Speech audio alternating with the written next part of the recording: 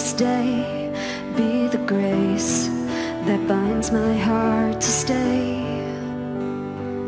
May the truth that opens up my eyes on that first time be the thoughts on my mind that never go away.